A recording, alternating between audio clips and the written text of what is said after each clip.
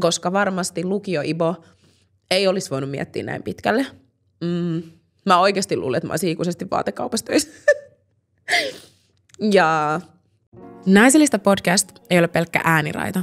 Se on turvastama kaikille, jotka etsivät yhteenkuuluvuutta ja elävät inspiroivista tarinoista. Podcastin missio on korostaa ja parantaa kohtaamisen kulttuuria erilaisten yhteisöjen välillä. Joten tune in and stay tuned.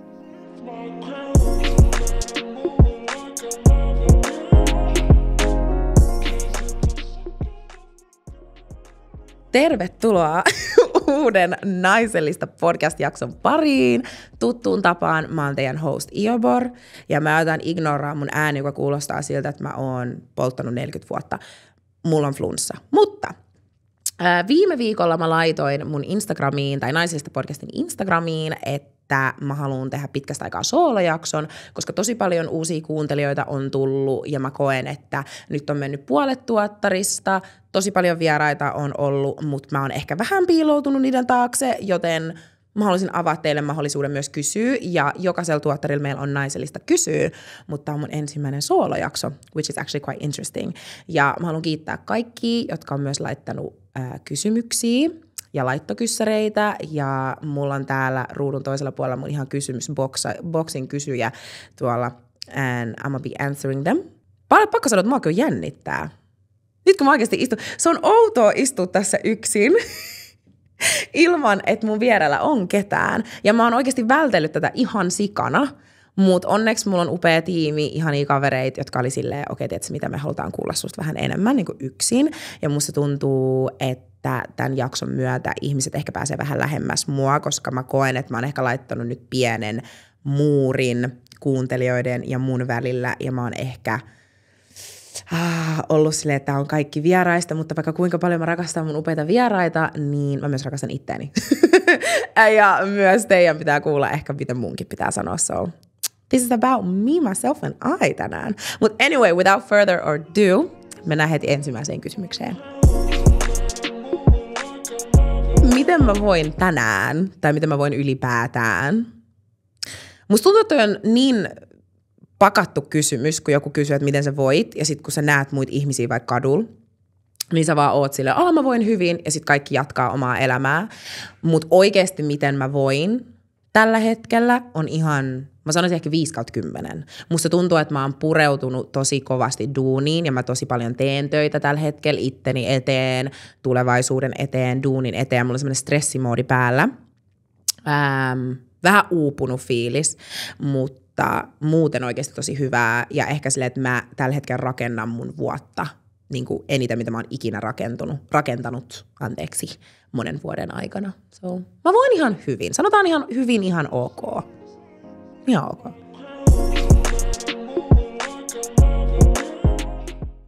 Miltä musta tuntuu pyörittää podi yksin? Oh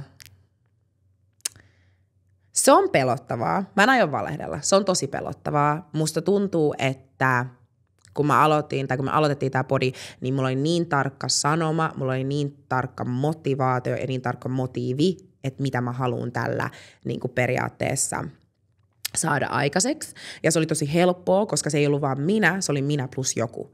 Ja sitten aina jos vaikka sanoo jotain väärin, niin se pystyy olemaan jonkun kaa siinä rinnalla ja joku pidättäisi kantaa sua ja te kannatte toisianne ehkä niinku tuottareiden mukana.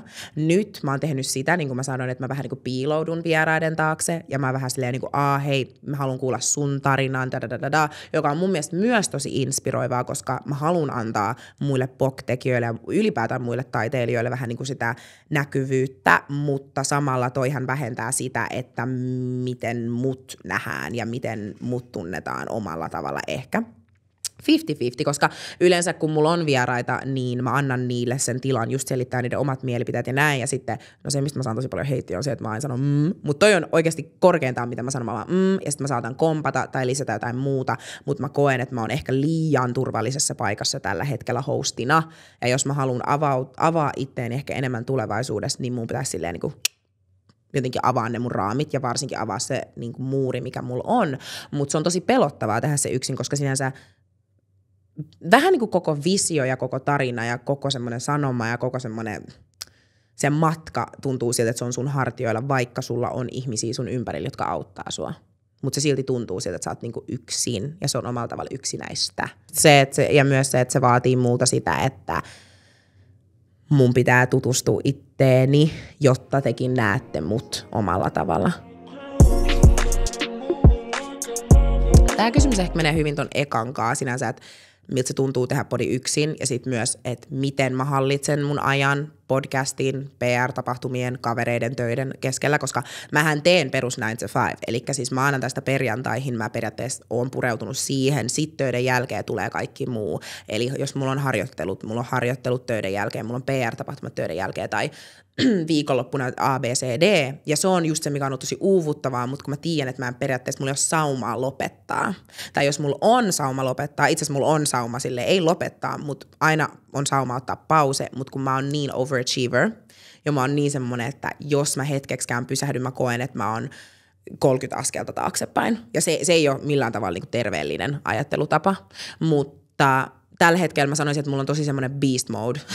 että mä oikeasti vaan oon silleen, okei, okay, töistä tänne, tonne, tänne, tonne, tänne, tonne, tänne, koska mä aina koen sen, että okei, okay, mä en tee näitä asioita välttämättä vaan mun takia, mutta mä teen sen naisellista yhteisön takia. Mä teen sen, että mekin saadaan näkyvyyttä. Mä teen sen, että niin kuin, saa uusia projekteja, uusia yhteistöitä, en, ei vaan mulle, mutta kaikille. Ja myös sille just se, että se on askel lähempänä tulevaisuutta niin se on vaikeeta, se on tosi vaikeeta, mutta mä koen, että kaikilla on ehkä jossain vaiheessa semmoinen vaihe, että liian monta hellaa on päällä ja se on vaan time management. Mä toivon, että mulla olisi teille jonkinnäköinen semmoinen, että joo, mulla on tää kalenteri ja sit mulla on tää, joo, mulla on kalenteri, minkä mä ostin suomalaisesta kirjakaupasta, mutta onko mä kirjoittanut sinne mitään kuukauteen? En. Onko mä unohtanut? On. Kaikki mun muistutukset on kirjaimesti mun herätyskello. Eli jos te ootte ikin mun vierestä, kuulette, että kello 13.30 randomisti piipahtaa mun puhelin, se on varmaan se, että muista syödä tai että sun pitää olla paikassa A ja B.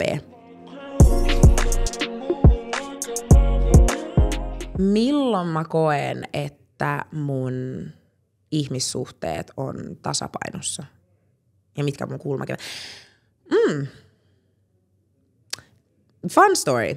Silloin mä koin, että mä olin ennen paljon parempi hallitsemaan ystäväsuhteita ja hallitsemaan minkäännäköisiä suhteita, romanttisia, platonisia, diipadaapa, mitä olikaan, koska silloin ei vaan ollut paljon enemmän aikaa, mutta jotenkin ei ollut niin tiukkaa koko ajan. Mutta nyt musta tuntuu, mä tällä hetkellä, mulla on va- vähän vaikea vastata tuohon, koska tällä hetkellä mä ää, työskentelen sen eteen, että mä olisin parempi kaveri.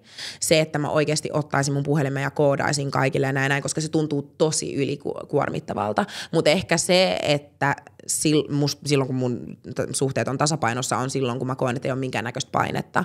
I'm very big on, että jos mun, jos me ei nähdä vaikka moneen kuukauteen, mutta sitten jos me nähdään pitkän, raskaan kuukauden jälkeen, me ollaan ihan samassa pisteessä, missä me jätettiin toisemme ja me vaan niin kuin, updateataan toisemme, puhutaan asioista tosi avoimesti, niin tolla mä koen, että okei, tämä suhde on tasapainossa. Että et sille, että jos siitä ihmissuhteesta ei tuu sulle ylimääräistä painetta tai ylimääräistä draamaa, vaan se, että teillä on tietyn näköinen ymmärrys siitä, että okei, kaikilla on eri elämäntilanteet ja oikeasti vaikka on kiire, niin on pakko löytää aikaa ystäville ja on pakko löytää se aika ihmissuhteille, että te niinku rakennatte jotain yhdessä, koska mullakin on se, että mä oon aina ollut silleen, no ei mulla ole aikaa, niin mä näen, mä näen, mä näen.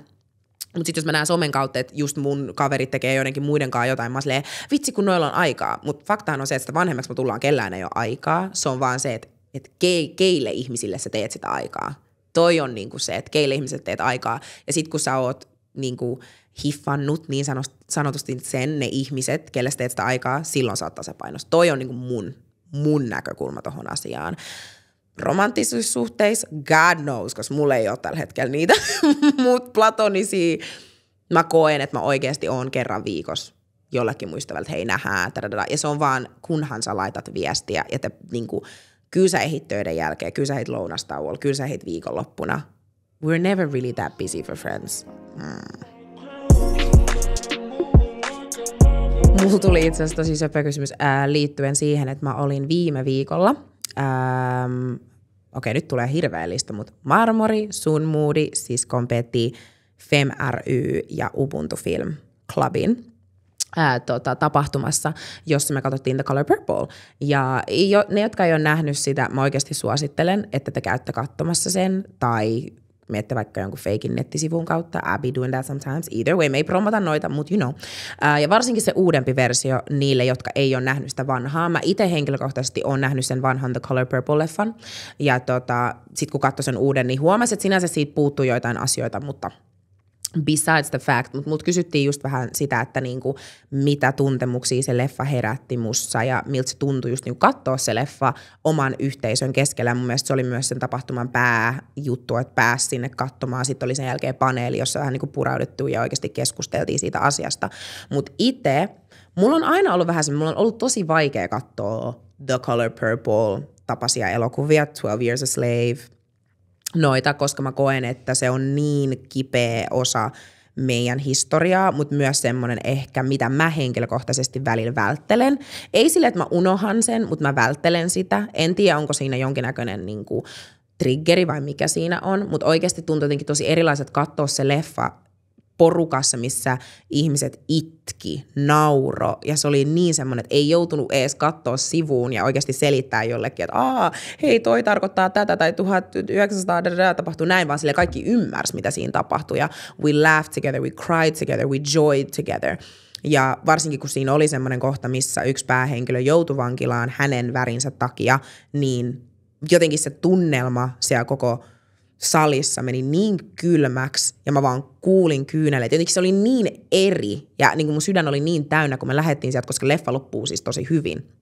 Ja sitten kun näkee sen niin kuin happy ending ja miten se menee, niin toi, oli, toi on just mitä mä haluan tuoda myös naiselliselle. Mä haluan tuoda semmoisen yhteisöllisyyden, mä haluan tuoda semmoisen, niin että me kuulutaan jonnekin. Ja varsinkin ihmisenä, joka ei – joka tuli todella, todella, todella, todella valkoisesta kaupungista. Mä oon sanonut tämän niin monta kertaa.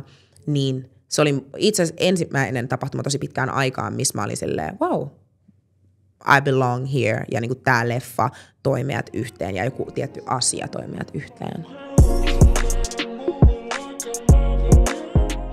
Kaikki tietää, että sinänsä kun mä tein tämän uuden tuottarin ja jatkoin tätä yksin, niin mä vähän vaihoin konseptia siihen, että tietenkin pääroolissa on aina tummat naiset, pok-naiset ja pok-ihmiset, mutta sitten myös mä haluaisin tuoda kohtaamiskulttuurin tähän mukaan. Ja vähän tähystää niitä kysymyksiä, missä kysyttiin just, että, niinku, että mistä se inspiraatio tuli, että niinku kohtaamiskulttuuri on yksi pääsanoma tässä tuottarissa, niin se tuli ihan siitä, että mun, mun oma sosiaalinen ahdistus meni niin pahaksi viime vuonna. Ää, ihan vaan siitä, että se, se, sen ei edes tarvi olla PR-tapahtuma tai niinku, sen ei edes tarvi olla nauhoitustilaisuus or whatever, vaan ihan mikä tahansa kohtaaminen tuntui, multa, tuntui mulle niin ylitse pääsemättömältä. Ja se tuntui niin raskaalta. Se oli vähän silleen, että – et jotenkin, että kun somen kautta, tai enemmän kuin mä hengaan, että mä hengaan paljon enemmän nykyään somessa, mä tähystän, kuka voisi olla hyvä vieras, mä katon täkättyjä postauksia entistä enemmän, ja silleen mä oon jotenkin niin somekuplassa, ja mä koen, että kaikki on tällä hetkellä. Niin sitten kun näki ne ihmiset livenä, oli tosi vaikea lähestyä niitä, koska mä en tiedä, tuliko mun semmoinen, että, niin, että ne on parempia kuin mä, ne on kuulempia kuin mä, no, niillä on parempia seuraajia kuin mä, niillä on, ei parempia anteeksi seuraajia, pare, niin kuin enemmän numeroita kuin mulla, näin ja näin näin, niin se kynnys alkoi nousee, nousee, nousee, nousee, niin mä myös aloin haastaa itten, että okei, tässä tuottarissa mä oikeasti tuon esille kohtaamiskulttuurin. Mä haluan tuoda pöytään sen faktan, että me ollaan kaikki, aloitetaan samasta viivasta. We're all human. Ihan sama mitä se some sanoo, ihan sama mitä ne mun kuvat sanoo. Me ollaan kaikki ihmisiä, mutta meillä on vaan kaikilla oma reitti. Mä teen ehkä podcast-tuotantoa, toinen tekee fashion, toinen tekee musiikkia, toinen tekee näyttelyä, mutta meillä on kaikilla se sama keskipiste, kaikilla on se sama lähtökohta. Meillä on kaikilla omalla tavalla se sama motivaatio ja drive. Niin mä halusin tuoda myös pöytään vieraita, jotka on mulle semmoisia, että mä en ikinä uskaltaisi puhua niille liven. Siis en missään nimessä. Jos mulle sanottaisiin, että okei, että mä alan miettiä, ketä vieraita mulla on ollut. Itse asiassa mä en voi exposaa, kuka mulla on. Mut mulla on tulossa semmoinen vieras, kelle mä en ole ikinä pystynyt puhumaan livenä. Ja se on niin upea artisti. Ja esimerkiksi mä mietin sitä, että okei, kun mä saan vieraita, I'm gonna sit here ja mä aion puhua niille niin kuin ne on ihmisiä. Mä aion kysyä niiltä kysymyksiä, mitä mä en ikin uskaltaisi kysyä Ne voi olla niin peruskysymyksiä, koska kun mä näen ihmisiä kadulla, mä silleen, hei, mitä kuuluu, mitä menee. Mutta en mä ikinä oikeasti uskalla olla niitä silleen, hei, mikä sun inspiraatio vaikka tohon biisi oli, tai mikä, mikä inspiroi sua päivittäin, tai hei, mikä sun daily routine on. Niin mä haluan viedä semmoisen kynnyksen pois siinä kohtaamisessa, ja semmoisen niinku, paineen, mikä siinä on. Ja me puhuttiin just yhdessä jaksossa Amiran kanssa siitä, että tosi helposti jengi voi luulla, että toiset on ylimielisiä, niin sen takia mä en lähesty sua tai, tai jotain. Että siinä on hirveä paine. Niin mä haluaisin poistaa ton myös itselleni ja myös että niin kuin ehkä testaa mun omaa sosiaalista ahdistusta ja ehkä poistaa tämän tuottarin myötä sitä asiaa ja muistuttaa ihmiset, muistuttaa ihmisiä ehkä vähän silleen, että okei, palataan nyt hei kaikki maan tasolle sieltä somemaailmasta, koska mä oon guilty of it. Mä halusin myös niiden kysymyksien mukana, mitä tuli, niin täydentää vähän niin kuin, että okei, mikä tämä uusi naisellista konsepti on, koska te kuulette jaksojen alussa tosi paljon sitä, että mä diipadaapailen, että Aa, kohtaamiskulttuuri tätä, kohtaamiskulttuuri tätä. Ja aina kun mulla on uusi vieras, mä oon silleen, miten sä kohtaat ihmisiä, miten sä kohtaat sun musiikin, dadadada, niin kuin, miten, ihan niin kuin ylipäätään kohtaaminen. Ja mä haluan tähystää, että okei, mistä toi on tullut, koska musta tuntuu, että me tuotiin se ennen esille tässä tuottarissa, mutta ei oikeasti tarpeeksi. Ja mitä mä oon sanonut tosi usein sen, että okei, viime vuonna mulla paheni mun sosiaalinen ahdistus ja mulla paheni se, että okei, mä en osaa enää lähestyä ihmisiä ja korkeintaan mä sanon ihmisille, että moi mitä kuuluu ja mä juoksen karkuun ja mä oon niinku tosi jotenkin, niinku mä pienennän itteeni tosi paljon, jos mä kävelen huoneeseen. Mutta mä oon myös puhunut siitä, että se johtuu siitä, että mä oon epäitsevarma. Eli sitä epäitsevarmempi sä oot, sitä pienemmäksi sä vedät itsesi, joka ei ole ok by the way. Mutta mistä se oikeasti lähti, oli lukiosta kun mä kasvoin nuoreksi aikuiseksi ja varsinkin lukiossa, mä olin valkoisissa ympäristössä. Eli mä kohtasin tosi paljon valkoisia ihmisiä, joka tarkoitti sitä, että se miten mä käyttäydyin oli todella valkoista, miten ihmiset voi nyt ottaa sen miten haluaa, mutta toisin sanoen mä en niin kuin tuonut esille mun tummuutta. Sen näki, mutta mä pienensin itteeni jo silloin, eli mä en ollut niin kova ääninen, mä en ollut niin kuin mitä nyt, miten, miten te nyt stereotyyppisesti haluatte ajatella sen. Niin mä en tehnyt niitä asioita, koska mua pelotti tosi paljon.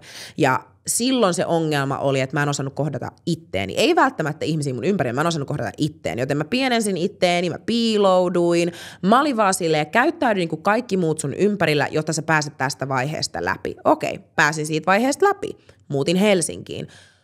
Tapasin upeita, upeita, upeita tummia naisia, POC-ihmisiä, se koko mun ympäristö muuttuu. Sitten mun seuraava ongelma, miten mä kohtaan nää? Okei, okay. mä aloin matkiin niitä vähän siltä, okei, okay, ne kävelee näin, ne puhuu näin, ne pukeutuu näin, ne tekee tätä. Silloin mä aloin oppi kohtaa itteeni, mutta sitten mä aloin stressaa, okei, okay, mitä mä kohtaan ihmiset mun ympärillä, mitä mä puhun, puhuks mä liian suomalaisesti, puhuks mä tälleen, luuleeko että mun asiat on tyhmiä. Ja oikeasti, rehellisesti, I felt very uncultured.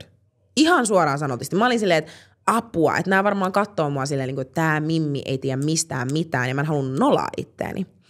Ja nyt mulla on vaihe mun elämässä, missä mä oon silleen, okei, okay, mä, oon, mä olin tosi sujut ittenikaa ja mä oon sujut ittenikaa, mutta sitten meillä on sosiaalinen media.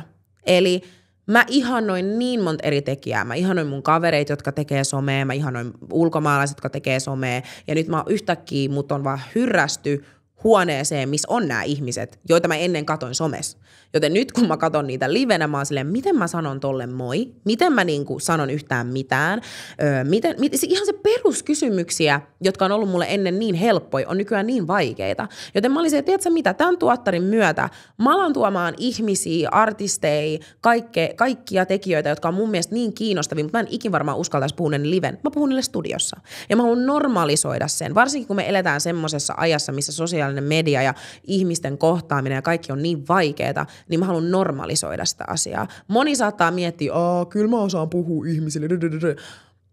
Maybe, mutta oikeasti tungetaan kaikki nyt semmoiseen huoneeseen, missä on ehkä viisi ihmistä, ketä ne oikeasti ihannoi, varsinkin alalla, mikä on tosi tosi kilpailuhenkinen omalla tavalla, niin kyllä sulla tulee vähän semmoinen, I don't know what I'm doing, social anxiety, I'm scared. Niin toi on mun vaihe nyt. Mä pääsin siitä valkoisesta vaiheesta pois, mä pääsin siihen tummaan vaiheeseen ja nyt mä oon siinä vaiheessa, että okei, okay, I'm a confident black woman, mutta millainen mä oon nyt ns podcastaajana tai niin kuin artistina tai niin kuin tekijänä tai bisnesnaisena. Mä yritän löytää sen kohtaamisen itteni kanssa ja sen kohtaamisen muiden ihmisten kanssa. Välillä jos ihmiset näkee mut ja ne on silleen, Aa, että sä oot se, joka tekee niin kuin podia.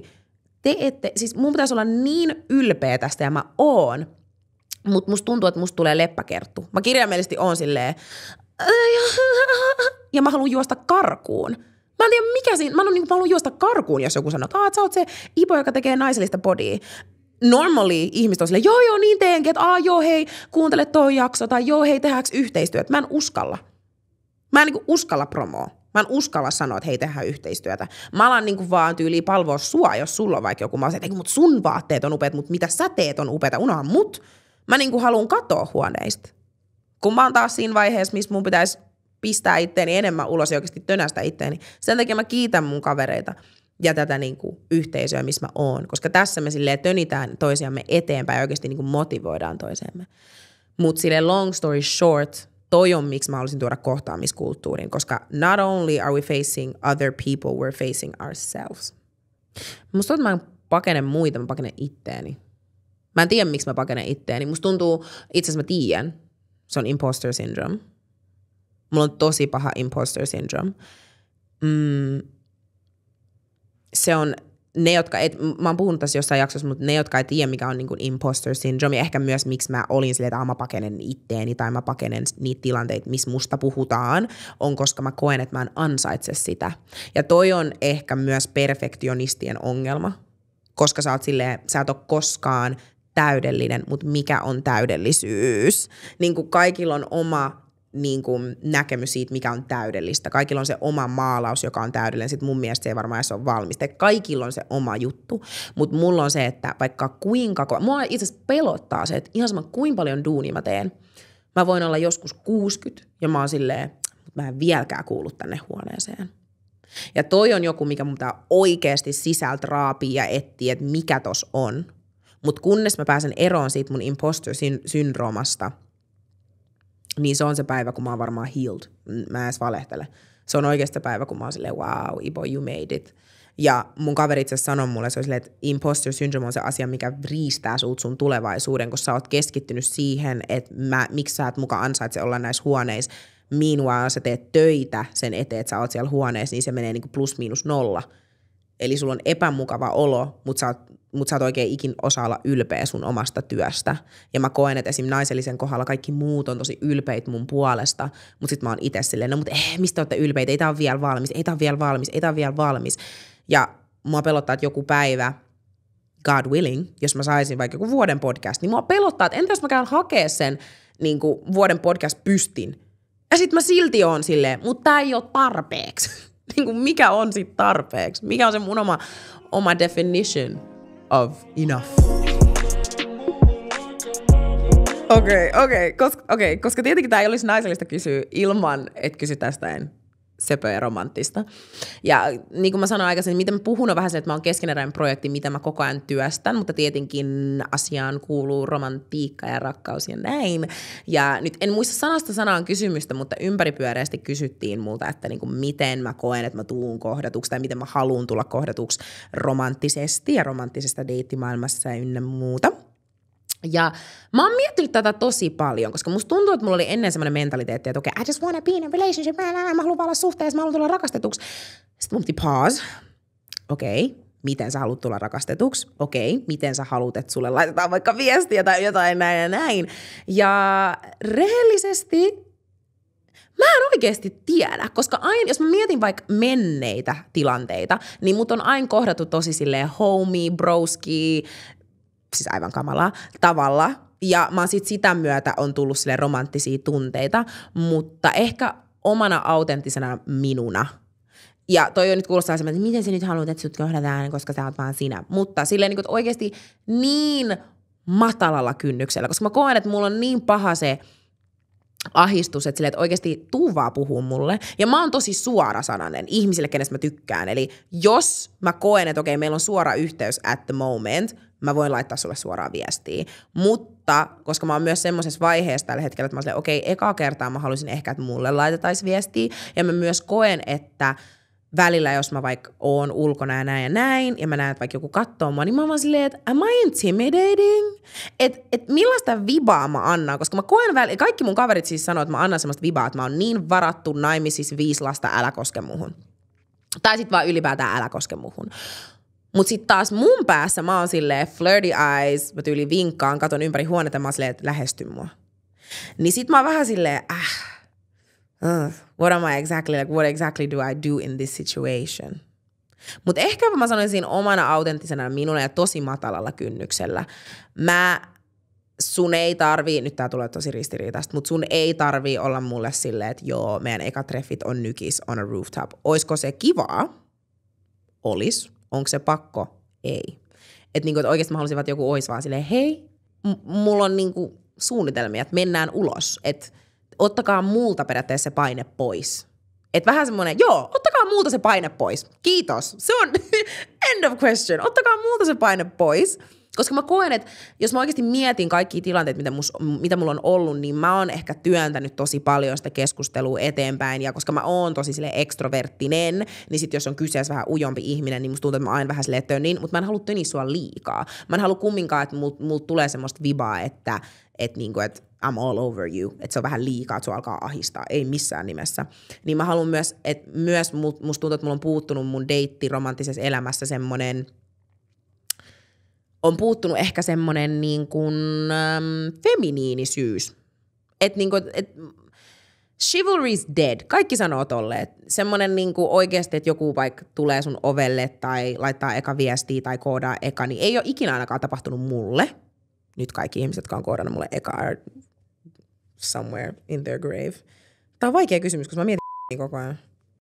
Ehkä myös se just, että, että niinku, just se, että mä oon a lot joillekin ihmisille. Mä oon tosi paljon, mä oon tosi kova äänen, mä oon tosi da, da, da, niin mua pelottaa, että joku on silleen, oh, ei, tai että niiden maskuliinisuus pienenee, tai en mä tiedä, että, niinku, että mä koen, että silleen, että, niinku, että että vieks mä sulta tilaa jotenkin.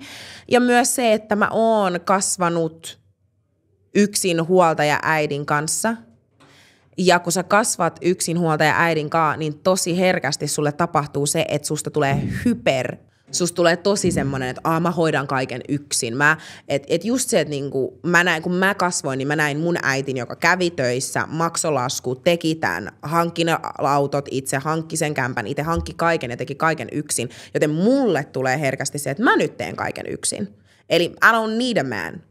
Toi on, niinku, toi on se mentaliteetti, minkä mun äiti on periaatteessa laittanut mulle. Ja toi on ehkä hyvä, koska mä tiedän, että mä handlaan itteni, mutta mä oon 23 ja mä oon nyt semmoisessa vaiheessa, että minä en jaksa enää.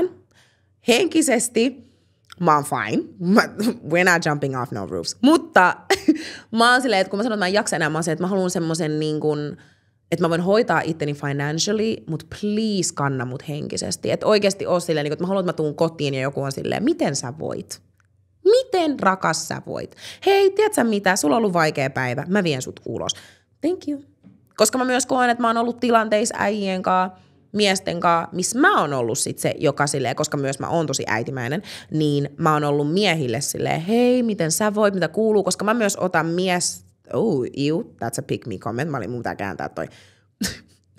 mä myös otan paljon stressiä siitä, että miten miesten hyvinvointi voi, koska mä koen, että ne ei puhu niiden tunteista. Mä pystyn puhumaan mun tunteista silloin, kun musta tuntuu siltä, mutta välttämättä mies ei. Niin sit mä oon tosi helposti suhteessa tai deittailutilanteessa silleen, miten sä voit avaa sun mieli. Mua ahistaa se että välillä, että mä kuulen, että äijät ei ole itkenyt jokin 40 vuoteen. Ja mä oon silleen, how have you not cried in 40 years? Because I've cried in 40 days non-stop niin toi on myös mulle se, niin sitten vähän, että se rooli muuttuisi. Ehkä, että me molemmat pystyttäisiin kantaa toisiamme, mutta 23 vuoden jälkeen mua vähän enemmän. Boom. Mä rakastan tätä seuraavaa kysymystä myös ehkä sen takia, koska äm, naisellista ei ole vaan se on, se on for the POCs and the black women, mutta on myös tosi paljon kantasuomalaisia kuuntelijoita. Ja mä rakastan, että kun mulla laitetaan kysymyksiä ja muutenkin sille ollaan uteliaita, koska mun mielestä se myös osoittaa kunnioitusta. Mutta mut kysyttiin just, että miten niin kuin voi kunnioittaa toisia kulttuureita ja sille kunnioittaa ja, kunnioittaa ja ymmärtää toisia kulttuureita paremmin. Ja ehkä se, mitä mä haluan, me puhuttiin tästä tosi paljon mun friendin kanssa vähän aikaa sitten, mutta ehkä se, mitä mä haluan niin korostaa, ja nyt ottakaa tämä varovasti, ja se ei ole mitenkään silleen marttyyrimäinen, koska musta tuntuu, että tosi moni tumma tyttö tulee ymmärtää tämän, mutta me ollaan tosi silleen niin sujut ehkä tämän asian kanssa. Itse asiassa me, me ollaan sujut, mutta meidän ei tarvi olla. Mutta mä koen, että tummina naisina, tummina tyttöinä meidän on pitänyt olla tosi vahvoja tosi pienestä iästä asti. Eli esim. mun omalla kohdalla nuoresta asti mä, mun kroppa muuttu tosi nopeasti. Yhtäkkiä mä sain perseen vitosluokalla, mä sain tissit nelosluokalla. Ja mul, mä koen, että yliseksuaalisoitiin tosi nuorena. Myös kotoota tulee tosi paljon paineita öö, afrikkalaisille tytöille. Sun pitää tehdä tää, sun pitää tehdä tää, sun pitää osata tää, sun pitää hallita tää. Mind you, mä ollaan 15-10.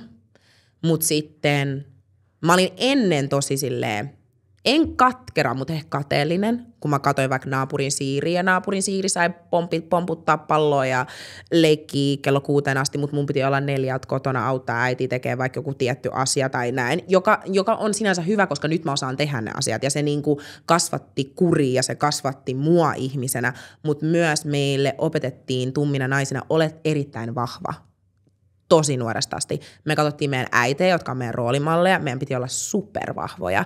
Meitä helposti yliseksuaalisoitiin myös ihan pienissäkin asioissa. Esimerkiksi se, että jos sä meet, nykyään ei välttämättä enää ole tätä ongelmaa, koska mä koen, että Helsinki on tosi kulttuurillisesti rikas joissain määrin tai rikastumassa joissain määrin enemmän, mutta ennen just esimerkiksi mun lukiokokemushan oli sitä, että mä vaan piilouduin. Mua vertailtiin tosi paljon, jos mä deittailin lukiossa, niin se oli sitä, että Ibo on yhtä hyvän näköinen kuin tää, tai sitä mun omaa kauneutta ei nähty, tai sitä näin, että people couldn't see past the blackness in a way. Mm, joka sinänsä haittaa, mutta se on harmillista. Ähm, kotona oli tosi kova kuri, Joten myös kun mä näin taas sen naapurin siirin, joka ei varmaan kertaakaan itkenyt, niin mä olin silleen, mm, I wish I could be like that.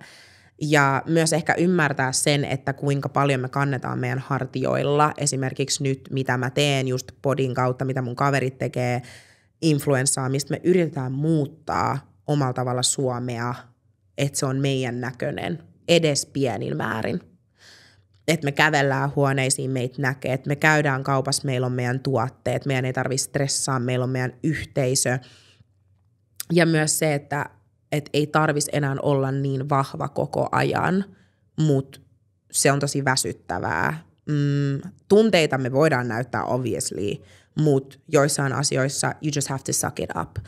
Um, jos, on, jos on kyse vaikka deittailu. Tämä tuli mulle tosi shokkina, mutta esimerkiksi kun mä muutin Helsinkiin, niin mä luulin, että että että niin kuin vaikka kaikki on hyväksyttävää, että mua vaikka hyväksyttäisiin enemmän. Ja sitten yhtäkkiä obviously normi on se, että we're not seen as, uh, as attractive necessarily. Että me ei olla ehkä kaikkien maku, joka on taas ok, mutta meidän ei tarvitse hyväksyä sitä. Mutta sitten kun sä joudut elää siinä koko ajan, sä joudut nielasee sen ja sä joudut olemaan sille off. Ja sitten just kun sä avaat sun For You Pain, sä et näe ittees. Sä et niinku, että kaikki toi oikeasti alkaa olla jossain vaiheessa tosi raskasta. Ja just se, että mä en halua alleviivaa tota silleen, että aah, mä oon martyyri tai tää on brrr, mutta mä vaan haluan, että ihmiset ymmärtää myös, että mitä me koetaan. Että se on ollut tosi vaikeaa, että semmoinen vaikka meidän lapsuus, meidän nuoruus on ollut upea monella tavalla, kulttuurillisesti rikas, me ollaan päästy lähemmäs meidän omaa kulttuuriin, mutta se on myös ollut tosi raskas joillekin ihmisille. Itelle se on ollut tosi raskas myös.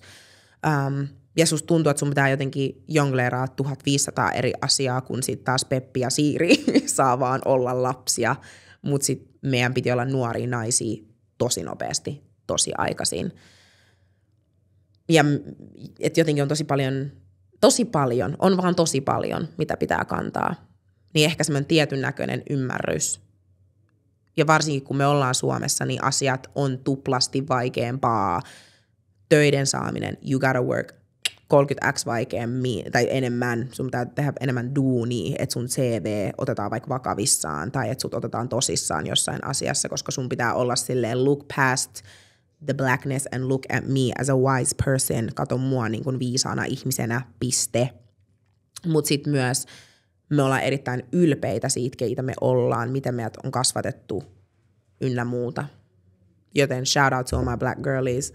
Ja toi on myös se, joo, okei, meillä on kohtaamiskulttuuri tämän podcastin tai tämän tuottarin pääsanomana, mutta myös se, että mä haluan, että tämä on se turvasatama kaikille naisille. Ja mä en ole edes uskaltanut puhua tosta koko ajan, että, että välillä se on perseestä, koska sä et halua alleviivaa mitään negatiivista. Ja välillä se valtaa mun mielen, että mä oon silleen, onpa vaikeeta vaikka deittailla tai just, että ihan kliseisenä, jos mä katon jotain äijää tai ihan ketä vaan, niin mä oon silleen, että tykkääköhän toi tummista. Ja toi ei ole mitenkään maailman kivoin ajattelutapa. Like, jos mä menen ulos I see a cute boy, mä haluan vaan olla silleen, uu, mä näytän tänään hyvältä, mut sun aivot joutuu tehdä pientä pre-research ja sun pitää olla vähän silleen, mm, tykkääköhän toi tummista, pitää vähän katsoa, tai sitten joku on tyyli silleen, no ei, ei, ei, se, ei se tykkää tummista, ja Aas on sanonut jotain, tai da, da, da, da, ja sit sä oot vaan silleen, damn it!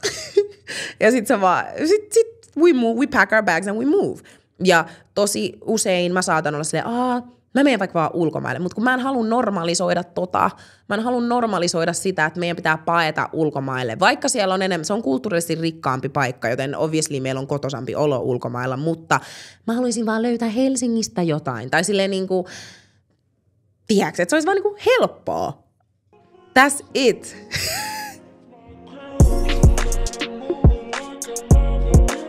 For my fellow black girlies, jotka on kas- tai kasvaa edelleen itse asiassa tosi niin kuin valkoisessa koulussa tai valkoisessa ympäristössä, niin, tai työpaikka tai ihan mitä vaan.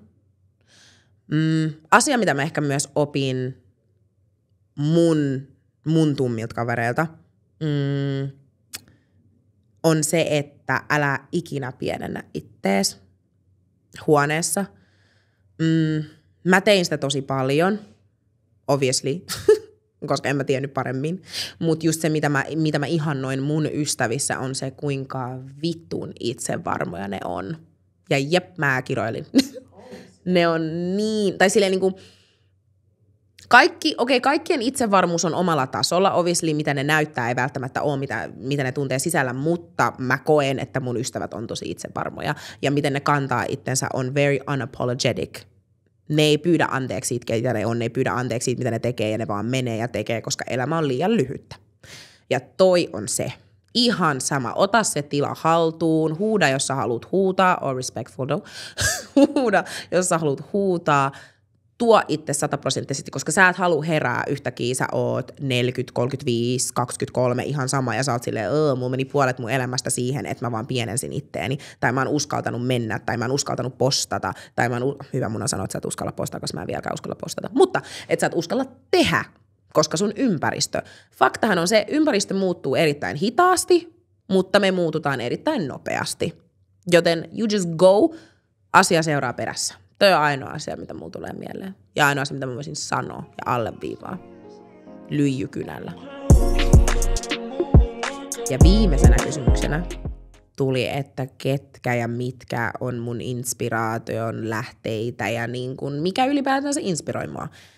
Ja mun number one inspiraatio oikeasti on siis UKsta yksi somettaja kautta podcast host Wunmi Bellow, joka myös tekee tosi samaa Briteissä, eli edistää kohtaamiskulttuuria eri vieraiden kerran ja myös tuo POK-ihmisiä esille ja näin näin, niin hän, jotenkin se, miten hän puhuu, se, miten se tuo itsensä esille, se, miten se on niin kuin naisena, on niin kuin sata prosenttia, mitä mä haluan olla. Se on myös nigerialainen. Ja sitten toisena, rehellisesti mun ympäristö. Kaikki kaikki mun kaverit, kaikki mun kaverit, siis varsinkin mun tummat kaverit. Niin kuin, koska ne oli ne, mitkä antoi mulle sen kulmakiven, kun mä muutin tänne. Ja ne oli, se, ne, oli ne, jotka oli silleen, ota se tila haltuun, laita tää, oot tälleen. Ja ei edes, et, ne ei edes sanonut, että oot tälleen, vaan oli enemmänkin silleen, niin että oo oma itses, piste. Ja ne oli vaan silleen, että se kuka sä oot ja mitä sä teet on sata prosenttia tarpeeksi. Ja vaikka luulee, että on niin kliseinen asia, mitä sanotaan, toi oli mulle, mitä mun piti kuulla. Ja se inspiroi mua ihan helvetisti. Niiden tekemiset, ne miten ne menee, ne miten ne tekee. toi inspiroi mua niin paljon, koska se antaa sulle myös motivaatio itse nousta siis perseeltä ylös ja, niin kuin, ja tehdä. Mutta mä sanoisin, että kaverit, sataprosenttisesti kaverit ja Wumi Below. Ja jos mä lähtisin vaan nimeä kaikki tummia tekijöitä Suomessa, niin tässä menisi koko jakso. Mutta te myös inspiroitte mua tosi paljon. Okei, okay, tu- okay. scratch that, se ei ollutkaan viimeinen kysymys, koska tuotannolta tuli Aka Julia, joka ihanasti kyselee näitä, mutta Julialta tuli bonuskyssäri, äh, koska nyt mä sanoin tämän jakson alussa, että tämä jakso is about me. Missä, mistä mä oon ylpeä? Ja Julia alkaa itkeä, joka meidän, että mä alan itkeä, mutta siis Mä oon ylpeä siitä, että mä oon jaksanut yrittää. Niin monessa eri asemassa ja niin monessa eri pystissä. Mä oon tosi ylpeä siitä, että mä oon jaksanut yrittää, siitä, että mä oon jaksanut nousta sängystä, siitä, että mä istun tässä ja vaikka mulla on paha imposter syndrome, apua, mä alan itkemään. Se, että mulla on paha mm, imposter syndrome – niin mä silti teen. Ja mä oon ylpeä siitä, että mulla on edes jonkinnäköinen platformi, missä mä voin puhua, öö, koska varmasti lukio Ibo ei olisi voinut miettiä näin pitkälle. Mm, mä oikeasti luulen, että mä olisin ikuisesti vaatekaupassa töissä. ja mä oon ylpeä siitä niistä ovista, mitä mä oon mitä mulle on avattu ja mitä mä oon avannut itselleni. Ja mä voisin sanoa, että mä oon ylpeä teistä, mutta mä oon kiitollinen teistä. että te jaksatte viikko viikolla kuunnella, koska tämä on mun mielestä semmoinen asia, että kolmen vuoden päästä, neljän vuoden päästä tulee olemaan vaikka finaalijakso, ja mä tuun näkee tässä prosessissa sitä yrittämistä, mä tuun näkee siinä prosessissa sitä muutosta ja sitä niin kuin kasvua. Ja sitä, että okei, vau, tämä tuottari, mä kokeilin tällaista ja tämä ei toiminut, mutta nyt tämä tuottari, mä kokeilin tällaista. Ja varsinkin ihmisenä, joka on perfektionisti, se yrittäminen on vaikeaa, koska sä pelkäät sitä, että sä kaadut. Ja se on pahin asia sun mielessä, tai se on pahin asia mun mielessä, että nyt jos mä kaadun, niin mä en koskaan pysty nousee, mutta mä oon pystynyt nousee itteni avulla, perheeni avulla ja ystäväni avulla. Niin kiteytettynä olen ylpeä siitä, että yritän. Sehän on ainoa asia, millä on väliä että jengi yrittää. Mutta ennen mä itken kaikki mun meikit pois, niin näihin fiiliksiin. Tällä kertaa erittäin itkusiin tunnelmiin. Ähm, tässä oli naisellista podcast tämän viikon jakso. Ensi viikko. Bye! Ah!